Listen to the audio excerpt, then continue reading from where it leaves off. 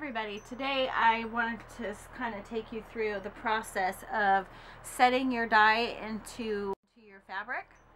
So what I have here is a glass bowl, one cup of vinegar,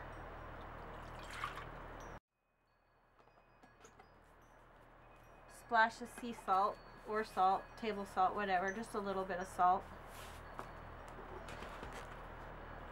And Fill your bowl up with as much water as you need to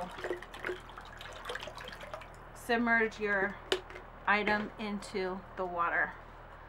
And uh, just use your fabric. Here's the shirt that I just dyed. Merge the garment into the water. The cold vinegar water with salt. And this is just basically meant to set the dye into the fabric. I'm going to let that sit and you will want to let it sit for a while for about an hour.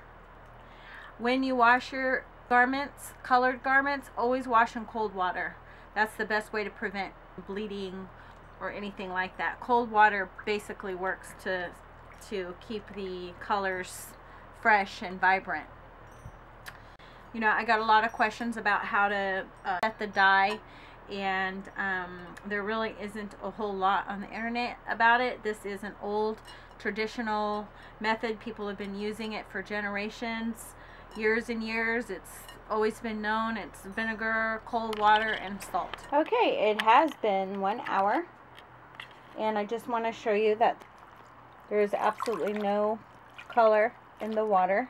And when I squeeze it, color doesn't bleed out. Now I'm going to rinse the vinegar out and then uh, and then wash it in cold water. And I just want to do a quick video update for those of you who have asked about dye setting methods and also if the color fades after it's washed. This is what the end result is after uh, setting the fabric into the vinegar and water mixture to set the dye and washing. So, it looks like we've had success even prior to washing. I had some stains that I was trying to cover up and you can still see them a little bit. It's definitely not as visible as it was. So this pretty much wraps it up guys. I'm HanieB with HanieB Creations. Appreciate you watching.